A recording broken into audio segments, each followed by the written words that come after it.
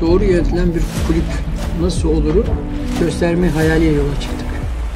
Başakşehir hakikaten bir plan dahilinde oluşturmuş bir kulüp. taşları yerine koyarak devam ettiler. Yarışmaya başlayan bir takım oldu. Hazırlık maçlarında bir de galip gelemiyordu. O Başakşehir'den kimsenin bir beklentisi yoktu ama.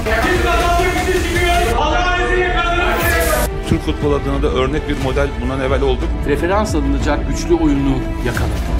Ortaya çıkan fotoğraf yarım devre sekseydi başka bir hikayeye dönerdi. birkaç yıllık serüven değil. Bence 20 yıllık kafasında olan bir projeydi.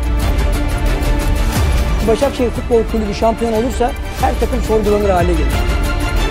Özellikle büyük camialar.